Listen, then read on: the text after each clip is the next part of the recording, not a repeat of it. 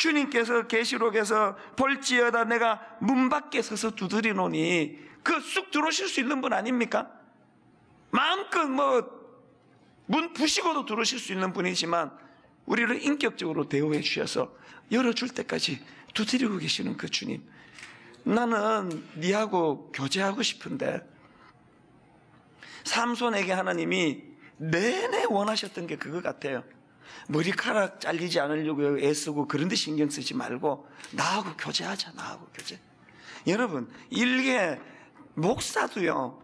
자기 성도 정말 정성껏 밥 지어서 소박하지만 내가 밥 지어서 내가 내 식구, 내 성도 먹이고자 하는 그런 마음을 갖고 있다고 한다면 날 구원하신 하나님 주님께서 오늘도 여러분과 교제하기를 원하시는 것. 그래서 저는 오늘 말씀의 결론이요. 다윗이 했던 이 고백이요. 10편 63편 1절. 하나님이여 주는 나의 하나님이시라.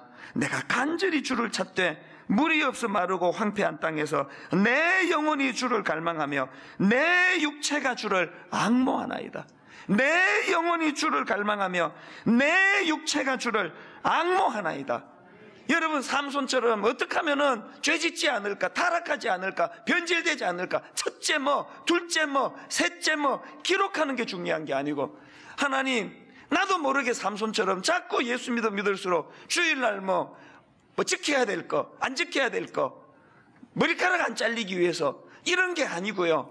하나님 앞에 갈망하는 마음, 내 영혼이 주를 갈망하며 내 육체가 주를 악모하나이다.